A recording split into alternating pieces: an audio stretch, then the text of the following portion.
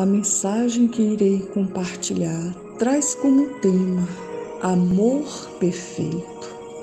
No livro de Isaías, capítulo 54, versículo 5, se lê: Pois o teu Criador é o teu marido, o Senhor dos exércitos é o seu nome, e o Santo de Israel é o teu redentor, que é chamado o Deus de toda a terra. Que referência linda, queridas. Esta citação bíblica traz uma mensagem linda e profunda de Deus para o seu povo, de Deus para Israel. Ele reunirá novamente essa nação da mesma forma que um homem aceita a sua esposa. Eles não precisarão mais ter medo da desgraça, pois ela não estará mais desamparada como uma mulher que perdeu seu marido, ou seja, que tornou-se viúva. Pois o teu Criador é o teu marido. Pérolas contextualizando esse versículo com a situação social, moral, emocional e espiritual de muitas mulheres. Não é de se admirar o sentimento de vazio, tristeza e desamparo estampado em seus rostos. O fato de estar casada não significa que mulheres estão completas não se engane. Desde a nossa infância, somos ensinadas que o casamento deve ser o nosso sonho de consumo e desafio como passaporte para a felicidade. Contudo, muitas estão vivendo uma solidão a dois e outras já se perderam nesse caminho. Casamos com muitas expectativas e com a certeza que todas elas serão preenchidas no relacionamento a dois. Às vezes esperamos muito de nossos esposos e companheiros, buscamos preencher o vazio existencial de nossos corações com a convivência a dois e fazemos dos nossos esposos companheiros e namorados, o nosso porto seguro. Com esse pensamento, queremos um amor para todas as horas, para todos os momentos. Queremos um marido que nos compreenda sempre e tenha sempre respostas para todas as nossas indagações. E terminamos esquecendo que este ser amado é de barro, assim como nós. E por ser de barro é frágil, depende também da graça de Deus. Porém, Deus, em sua fidelidade, e amor absoluto arrebata os nossos corações, fazendo-nos uma declaração de amor incontestável. Suas palavras não vêm de lábios humanos, mas do próprio amor. Deus é amor. Queridas pérolas, são os desafios da vida que nos aproximam de Deus. E Ele nos responde com toda a sua ternura: Você não está só. Eu sou teu companheiro, eu sou teu esposo, eu cuido de ti, eu te conforto, te carrego em meus braços e te protejo com a destra da minha mão. Ai, que lindo! Temos sim que amar nossos esposos com todas as suas e nossas limitações. Temos que honrá-los, pois é nisto que o amor também consiste dentro de um relacionamento a dois. Portanto, jamais devemos cobrar deles o que eles não têm condições de nos oferecer. O que diremos das pérolas divorciadas, das viúvas, das mães solteiras e das que nunca passaram por um relacionamento a dois? Estas mulheres guerreiras, elas merecem o nosso respeito pelas experiências difíceis que têm vivido.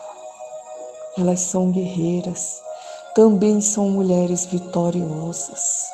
Apesar da nossa sociedade madrasta as maltratarem muito com seus preconceitos.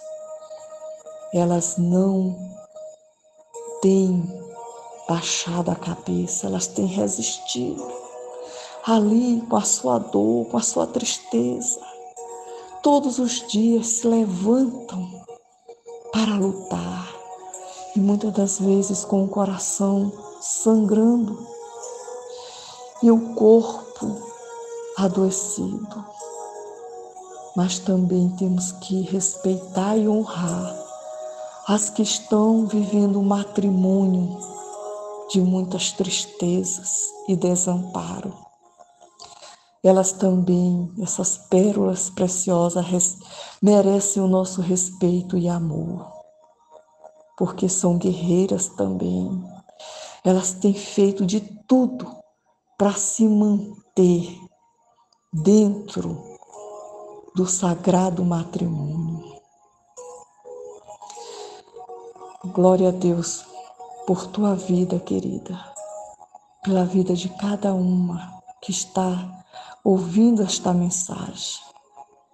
São mulheres que não estão completas, mas que ainda conseguem sorrir o importante em tudo isso é que você pertence a alguém. Você é pérola preciosa. Não está só. Deus é o teu esposo. Ele manda te dizer, mulher valorosa, que ele pode apagar toda a tristeza e toda a dor que tem inflamado a tua alma e abatido o teu coração. Ele é o nosso redentor. Assim como lutamos pelos nossos sonhos, ele luta e peleja por nós. Ele está interessado em nossa felicidade. Ele quer curar todo o coração despedaçado. Ele quer curar você e a mim de todos os sentimentos que tentam nos sufocar. Ele é o nosso redentor. Ele é o Senhor dos exércitos.